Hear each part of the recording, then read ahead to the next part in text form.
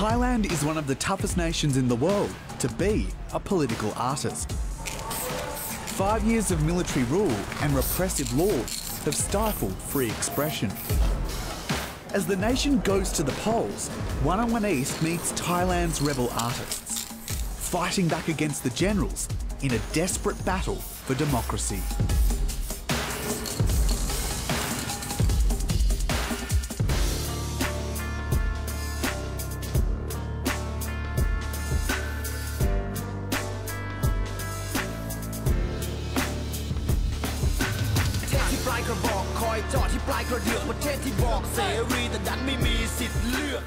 up against dictatorship is making Thailand's military face the music.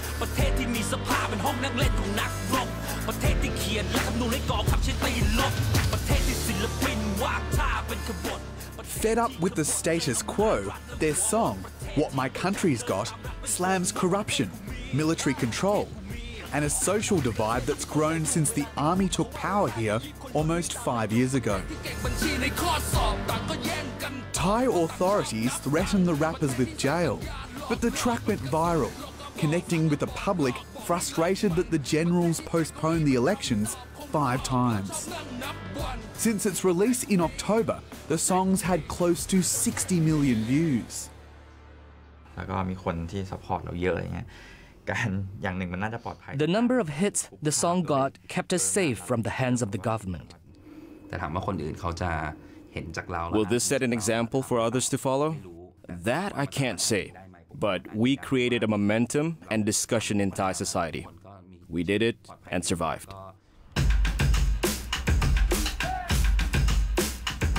Hock, Tay, and Art perform in the 10 member group. What has changed in Thailand that has fueled your popularity? จริงๆมันน่าจะเป็นช่วงอ่า เรื่องช่วงเวลาของ I think it's about timing. Our work went viral at a time when it hit the government the most. They've shown they can't improve the situation, and people are upset. In 2014, after Thailand's 12th military coup, the army cracked down on freedom of speech and banned public rallies. Reporting here at the time, I saw soldiers swiftly stifle even the slightest acts of resistance. I don't, I They're pushing people back, and there's not much you can do except take it. Where, where are we going? This way? Since then, laws which protect the military and monarchy from criticism have been used on an unprecedented scale. Hundreds of activists have been prosecuted. Even venting frustration against Thailand's rulers online is now a jailable offence. I know many people who have been charged and arrested. My father was taken to a military camp for two weeks. That made me very angry. The rappers say they'll continue to release more tracks, but with carefully composed lyrics to avoid censorship laws. Political discussion is good, and it should be free. No one should fear being arrested or getting thrown into jail for talking about politics. It's not just the lyrics of their hit song which attract controversy. The music video revisits a violent chapter of Thai history the brutal massacre by state forces of more than 40 demonstrators at Thammasat University in 1976, who were protesting the return of an exiled former dictator. They've recreated a Pulitzer Prize winning photo of one of the protesters being lynched, reminding audiences of past military abuses that went unpunished. The uh, authority tried to, to hide this kind of uh, image from the, the new generation. Renowned Thai photographer and filmmaker Manit Sriwanichpoom said radio reports of the massacre neglected to even mention that any protesters had been killed. Even they don't they don't put in a history textbook because they know that this symbolize the spirit of the, the, the people who are fighting for democracy. The massacre forms the basis of his Pink Man series, which he says explores how Thailand's consumerist society so quickly forgets the horrors of the past. It's one of the most violent in the Thai political history, and people remember that. This is why they, uh, for any any government, they are afraid of that. Manit owns an art house cinema in the capital Bangkok, but he can't screen his own film called Shakespeare Must Die. Banned in 2012, the film retells Macbeth in a modern Thai context and refers to the Thammasat massacre. Now Manit's appealing that ban in the Supreme Court and will use Rap Against Dictatorship's portrayal of the massacre to bolster his case. It's so obvious that this is injustice. If this, uh, the rapper can use that and can, can, can show people what about us. Despite the massacre, students at Thammasat University have continued the tradition of anti establishment activism.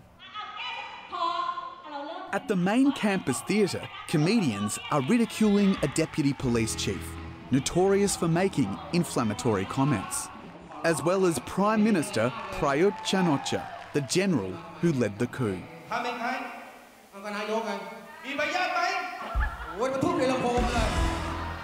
In the audience sits someone who knows what it means to suffer for your art. Pornthip Mankong was jailed in 2014 for acting in a play about a fictional monarchy at this university. Our play is very dangerous for, for them because we talk about something that they don't want people knows about that.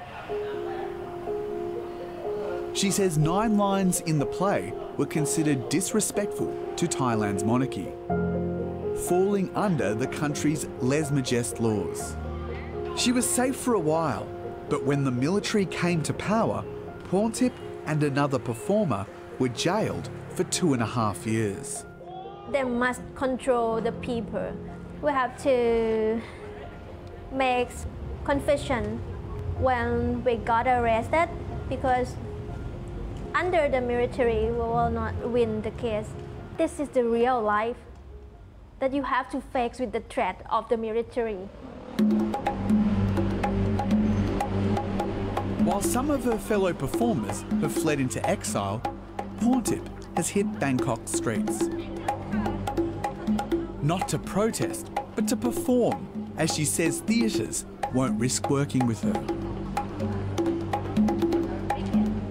I think the military or the police, they will think that I will not be on the stage anymore, that I will not make some artwork anymore.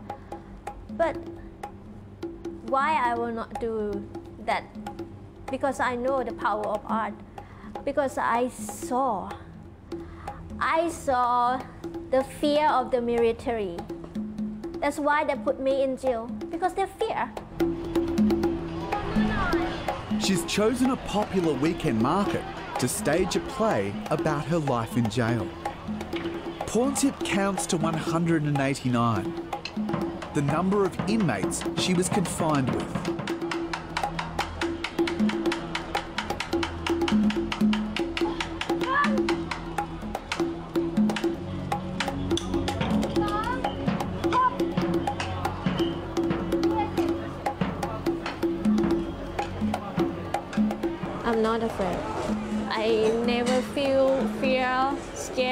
about the stage, but I have a little bit fear about the people. Former prisoners like Pornthip are banned from politics for a decade, so she ends her show by polling the public.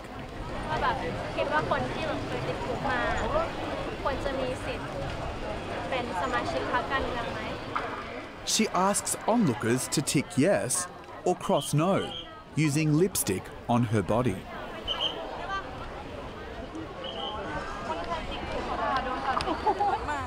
This pop-up performance is one of the more unusual things I've ever seen. The public approve.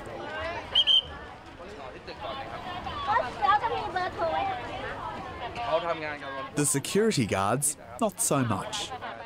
You like to break the rules, I feel. Yeah? yes! On the surface, Thailand's cosmopolitan capital, Bangkok, doesn't appear oppressive. New galleries and trendy culture districts have created a bold contemporary art scene. But some curators say under the current military government, they operate in a climate of fear.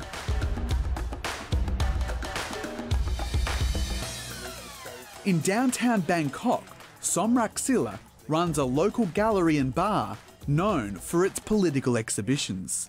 Do you think since the coup happened in 2014 that censorship has become worse? Oh yeah, definitely, definitely. Um, a lot of art events, performance or you know visual art, you get the soldier come and watch you.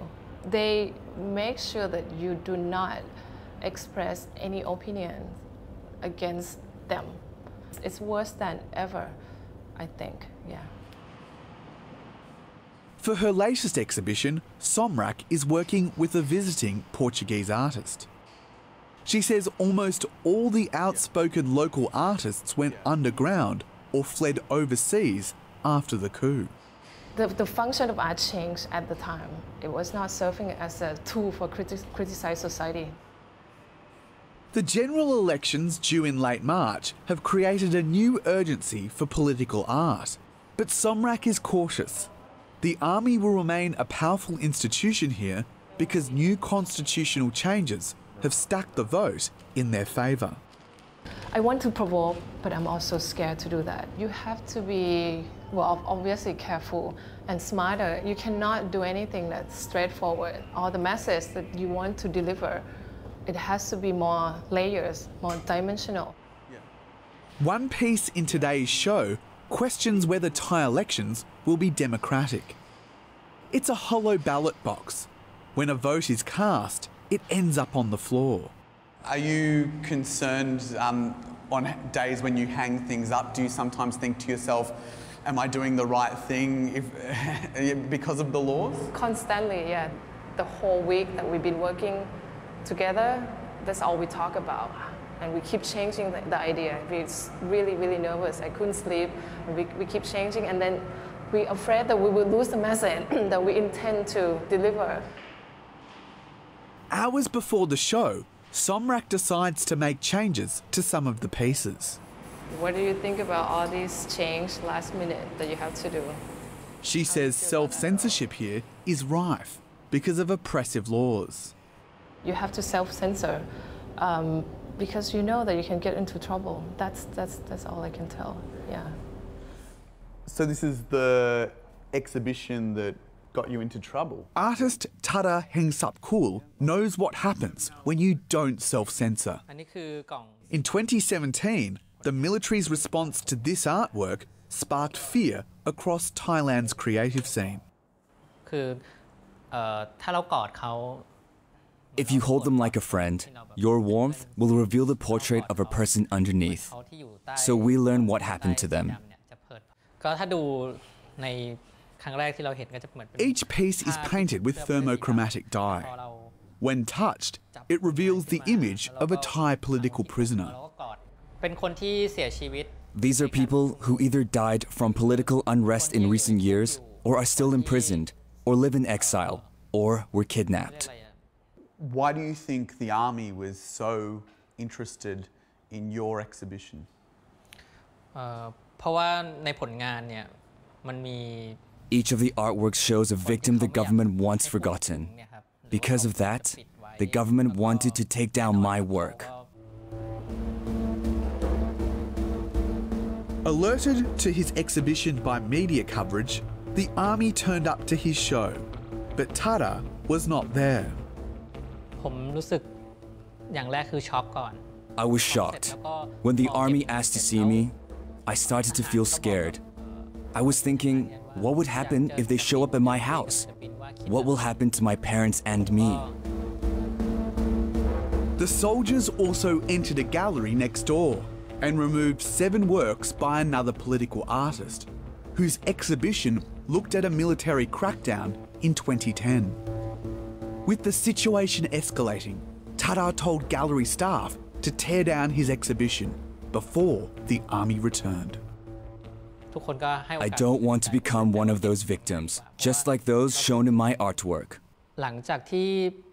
After the first visit, they continued to show up at the gallery for three months to check, sometimes on motorbike, sometimes they came undercover. I've not held any exhibitions in Thailand since then.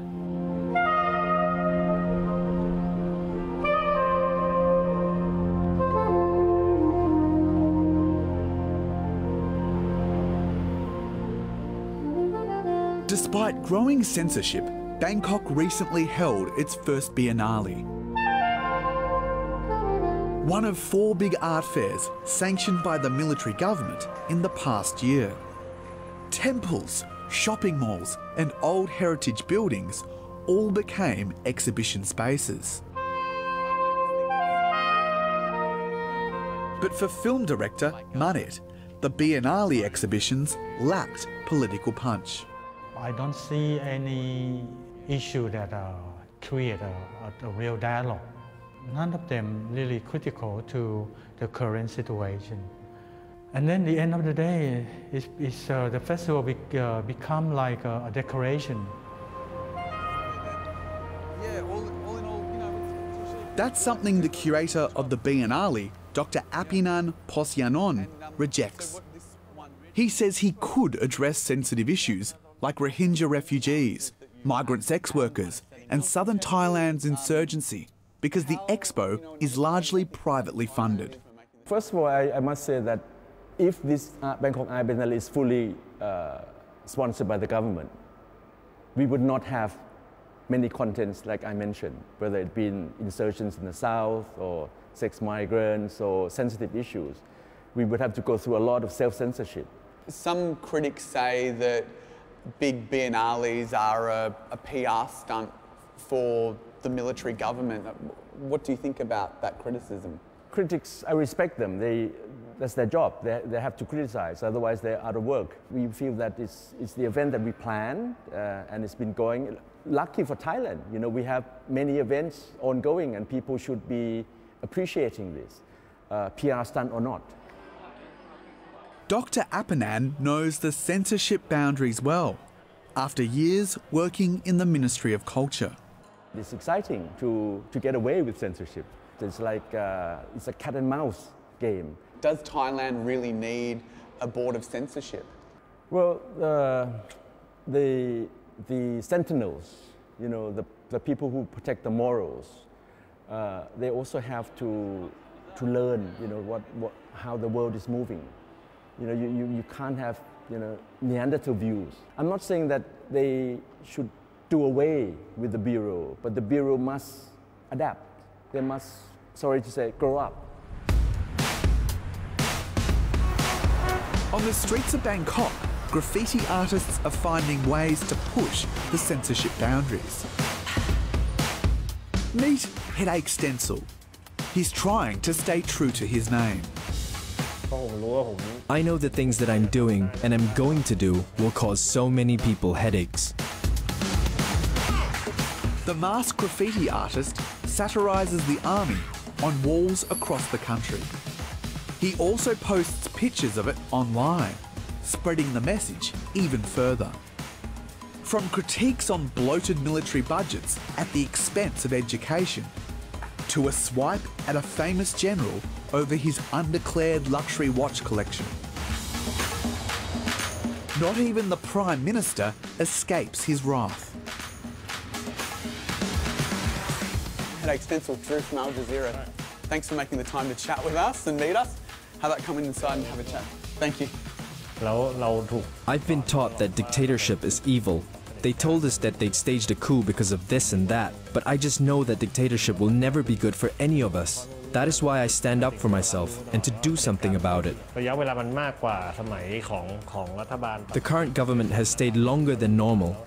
I've seen many military supporters are now unwilling to support them. I think this is a turning point. Headache Stencil is hard at work, creating his latest piece, Checkmate. He has to be careful. Despite his efforts to remain anonymous, the authorities eventually found him and he was charged with petty vandalism. To navigate the challenges of working here in Thailand, Headache Stencil only paints on private buildings with the permission of the owner. It's helped him avoid being jailed under the censorship laws so far. แล้วถ้าวันหนึ่งมันเกิดขึ้นกับผม if one day they want to throw me in jail, there's nothing I can do. The only one I can blame is myself for letting these people take over the country. One thing we should all learn is that military coups are never the answer.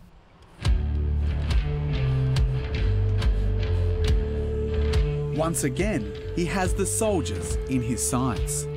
What is the meaning behind this stencil?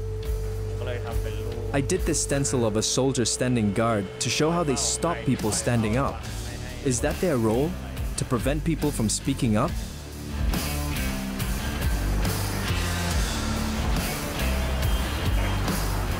As Thailand's elections draw near, there's a record number of candidates, but the generals who staged the coup will most likely hold the upper hand.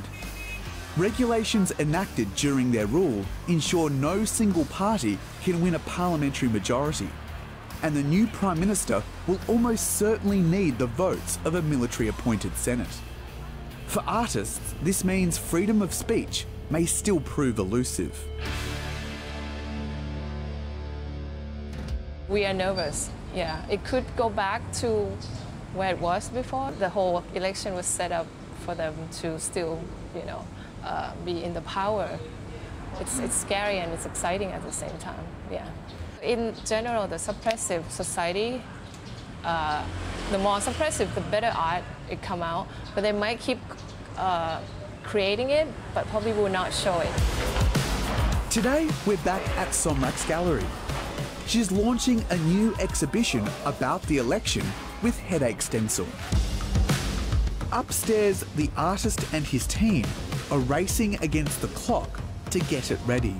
I don't know very little about this um, exhibition. We basically just let him use the space because he's been rejected by a couple of galleries um, because of the content, obviously. He knows his, his audience and he, he, he's um, really uh, follow the news very closely. So I, I think he knows what he's doing, yeah. She says Headache Stencil embodies the youth resistance sweeping Thailand. He has the most courageous to, and super um, audacious and really straightforward, and he's not scared at all. Hours later, he unveils Casino Thailand, a raucous election extravaganza, crawling with corruption, cronies, and cockroaches. Two titans of Thailand's intractable political divide stare each other down across the poker table.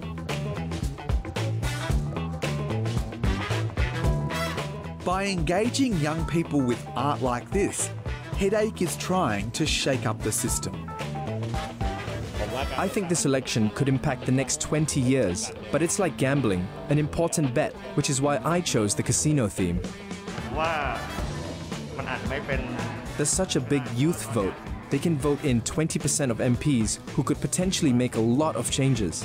And at that point, it's going to be fun. While a lot of the stencils look towards the election, I see a throwback to the past. Looks very familiar. The Thammasat massacre.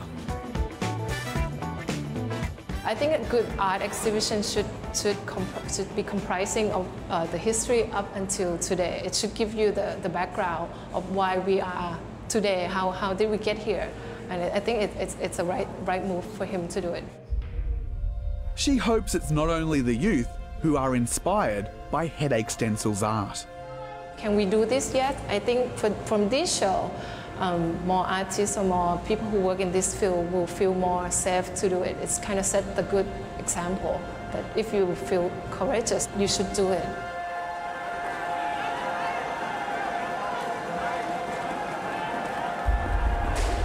Nothing's certain in a nation that's had a military coup on average every seven years since the end of absolute monarchy.